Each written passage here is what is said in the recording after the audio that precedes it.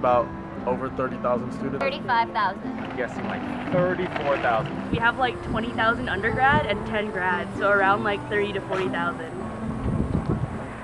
I looked that up yesterday. So we actually have 27,496 undergraduate along with 10,708 graduate students for a total student body of 38,204 students. I'll be honest, I'll throw out a guess and I'll say eight. 67. Four? I'm going with 27. Is it actually 27? I was gonna say like 100. We have 27 bear statues on and around campus. The smallest is located in the balcony of South Hall. The campus's mascot is a golden grizzly bear. How many panels? What? Nude? There's nude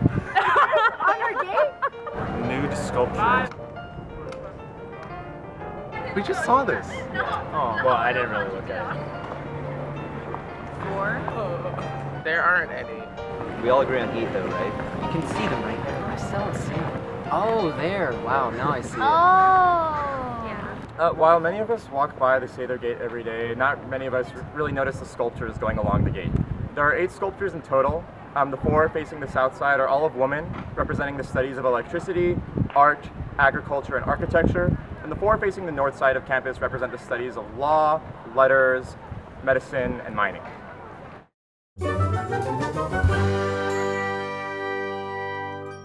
Oh, I know this. Oh, I heard this story. I know this one. I got this. I got this. So like the legend is that it was like two two brothers I think designed it. And then they had communication issues, and a woman was involved or something.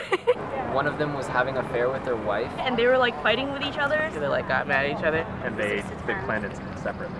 Put the That's why lockdown Hall makes no sense. Um, yeah, When, when did you hear that?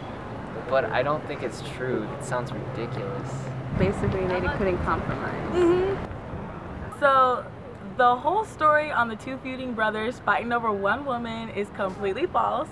What had happened was the original design for Dwinelle called for office spaces which needed lower ceilings and then lecture halls which needed higher ceilings. And then on top of that, Dwinelle was built on a hill. So there's four different floors that are at ground level. So really, it's really confusing all because of design. Uh, they don't want the students to get in.